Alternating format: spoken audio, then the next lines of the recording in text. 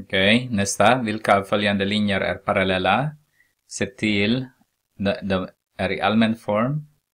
Innan ni kan se det, ni måste se till att uh, omvandla dem i y är lika med kx addera med m. Vi kan börja med a då.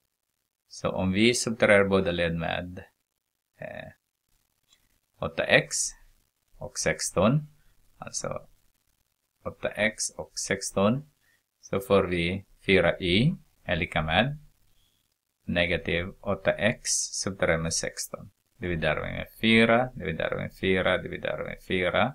Så har vi i är lika med negativ 2x minus 4. Så k-värdet på den är negativ 2. Okej, okay? nästa. B. Så om vi subtraherar båda, adderar båda led med 2i. Så att den här är 0. Så har jag 2i är lika med 8x plus 8. Dividerar jag med 2, dividerar med 2, dividerar med 2. Så har vi i är lika med 4x är därmed 4. Okej, okay? så k-värde på den är 4. Nästa, C. Om vi adderar båda led med 6y så den här är 0, så har vi 6i är lika med eh, 24x är därmed 2. Så dividerar vi båda med 6. Alla termer, alltså y är lika med 4x är därmed en tredjedel. Så k-värde på den är 4. Så vi kan se redan att A, B och C, varför har jag skrivit två där? B ska det vara. B och C är parallella. Okay, vi tar nästa.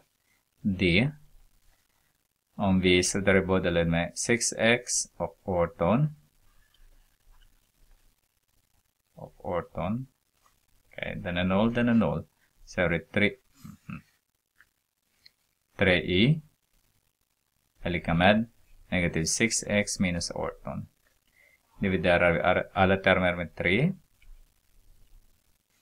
så har vi y är lika med negativ 2x plus nej det är minus. Inte med negativ 3, med 3 bara. Minus 6 så k-värde på den är negativ 2 så parallella är svarar vi är A och D och sen B och C är parallella.